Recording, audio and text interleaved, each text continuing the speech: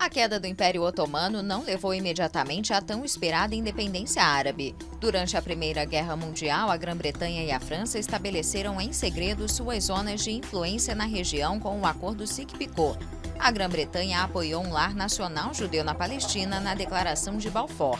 Na luta contra o imperialismo europeu durante as décadas seguintes, o nacionalismo árabe foi um grande trunfo em meio às tensões recorrentes na região, entre muçulmanos sunitas e xiitas ou entre grupos étnicos como os curdos que lutavam por um Estado independente. A proclamação do Estado de Israel provoca a Primeira Guerra Árabe-Israelense. O conflito entre israelenses e palestinos continua até hoje sobre fronteiras e territórios ocupados. A dependência ocidental do petróleo do Oriente Médio, que tem as maiores reservas, formou alianças políticas como entre Estados Unidos e Arábia Saudita. Apesar do apoio dado a Bagdá durante a guerra entre Irã e Iraque, Washington e Riad uniram forças para expulsar o Iraque do Kuwait durante a Primeira Guerra do Golfo.